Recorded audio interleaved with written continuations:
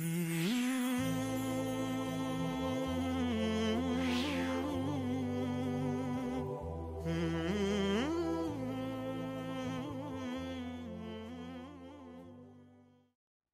ar-Rahman ar-Rahim. In the name of Allah, the most gracious, the most merciful. Assalamu alaikum wa rahmatullah. Now, in today's sitting, I would like to reflect on an important question, which is what's the purpose of life? We wake up in the morning, we have breakfast, we have lunch, we have dinner, then we go to sleep. Is this the true essence of living? Is this the true essence of being on planet Earth? How many times have you asked your question, yourself this question? Why am I here on earth? Why? Now, to these questions, we may have various answers.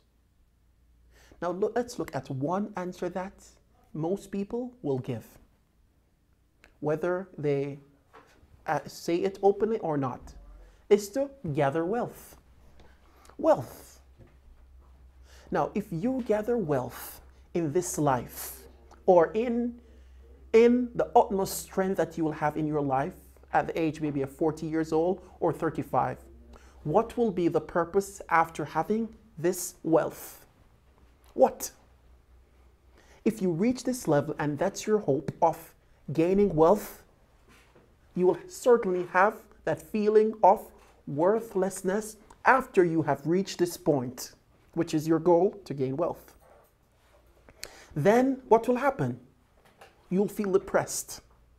How many times on the news you hear millionaires, families of big, high ranked men killing themselves?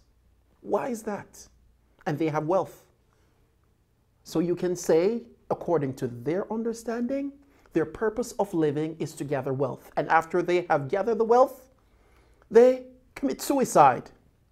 Is that the true essence of being on planet Earth?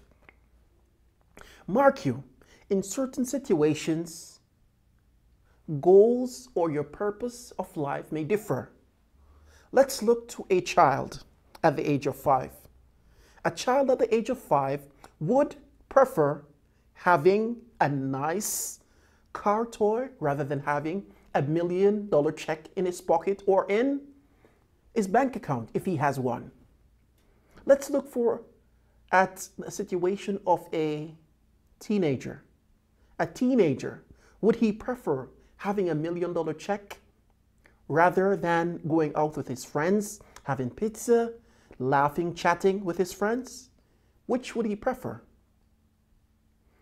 An elderly person, if you look to an elderly person at the age of 90 or 85 years old, and he has a billion dollar check in his pocket, would he hold on to that sincerely more than giving it up to getting a healthier life?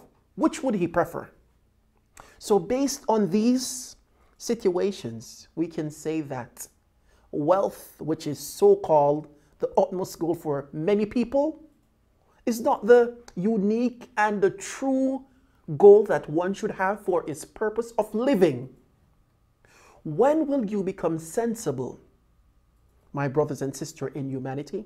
When you will open your eyes and look around you, take heed of what's going on, try to have a purpose of living. So, based on the different scenarios I gave to you about people in their stages, we can clearly say that wealth cannot be the main purpose of living. We could say that wealth is according to the situations of people. Now, if we look on ourselves, we look at our body, we look at the system that the Creator has made us in. We eat, we sleep. We grow, we sleep. We get sick, we get healthy. Look at the structure of our bodies. Do you think that you are just created for no purpose or just to eat and sleep? Now, this is the beauty of Islam. Islam gives you a purpose of living, a purpose of waking up in the morning, a purpose of being good to others. And it is to worship your Lord in oneness and in truth.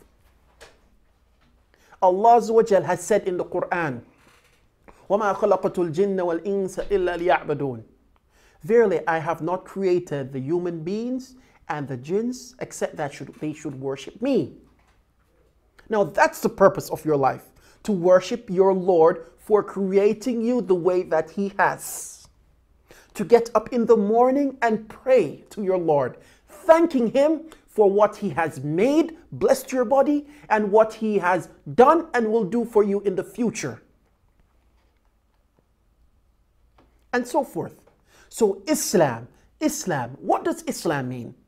Islam means to surrender, to surrender freely and willingly to the terms and commandments of the Creator. That is what Prophet Muhammad, وسلم, the seal of prophets, came to remind the people. Islam gives the human being a purpose for living. In this life, a Muslim should have the primary goal of worshiping his Lord, Allah Azawajal, in everything he do. And then he, the secondary aims he should have by, you know, accumulating wealth, being good to others, and so forth. But he should make his life solely for worshiping his Lord. What do I mean by worshiping his Lord? By doing good to please his Lord, Allah. So he prays to Allah Azawajal in the morning, in the day, five times a day. He does good to others to get the pleasure and the blessings of the one above, Allah Azawajal. That's the sincere and the true purpose of living. You're doing what your Lord has commanded you to do. Allah has created everything. Shouldn't you worship Him? Allah has blessed you with your clothes, with a nice face, with a nice car, with the latest shoe. Shouldn't you worship Him in oneness and in truth for giving you all these things? Huh? Think about it. When will we change our way of thinking? When will we move from the life of being gullible or just being senseless? We just eat, sleep, eat, sleep. What's the difference between you and the cattle that's in the field? What's the difference? Personally and frankly,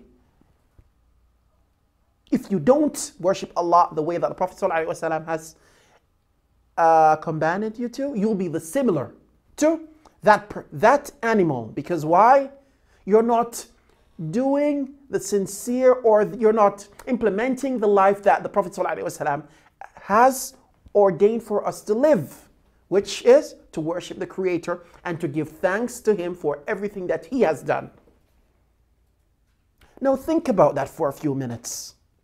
When will we make a change and be realistic about our affairs in this world? Life is short.